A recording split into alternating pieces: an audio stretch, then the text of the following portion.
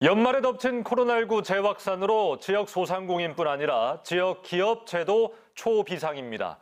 자칫 생산 라인이 멈추게 되면 만회하기 힘든 손실을 보기 때문에 직원 간 접촉 자제와 출입 통제에 나서고 있는데요. 공기업도 재택근무를 시행하고 부서 회식을 전면 금지하고 있습니다. 보도에 김진구 기자입니다. 4만 명이 근무하는 현대차 울산 공장은 최근 사내 운동 시설과 샤워 시설을 폐쇄했습니다. 코로나 재확산에 따라 출장 등 대외 업무를 전면 금지한 데 이어 생산 관련 필수 인원을 제외한 외부인의 공장 출입도 철저히 막고 있습니다.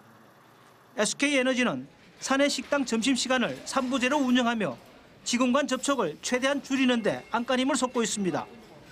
에르슨 입고 동제련은 특히 공장 가동이 중단되는 최악의 사태를 막기 위해 제어실 운전원 보호에 군사작전을 방불케 하는 비상계획을 시행하고 있습니다.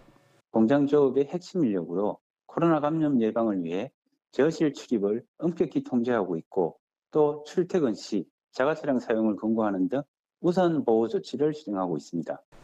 현대중공업은 한꺼번에 직원들이 몰리는 걸 방지하기 위한 시차 출퇴근제를 연말까지 연장하고 3차 백신 접종자는 하루씩 휴가를 주고 있습니다.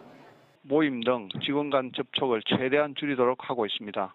특히 사내 전파로 인한 조업 차질 예방을 위해 비용 부담에도 불구하고 추가 접종에 대해 유급 휴가를 지원하고 있습니다. 한국석유공사와 한국동서발전 등 공기업들은 직원의 20% 이상은 매일 재택근무를 하도록 해 사무실 밀집도를 낮추고 있습니다. 이와 함께 기업들이 연말 부서 회식을 전면 금지하고 사적 모임까지 제한토록 하면서 시내 음식점과 유흥 주점엔 예약 취소 문의가 잇따르고 있습니다. UBC 뉴스 김진구입니다.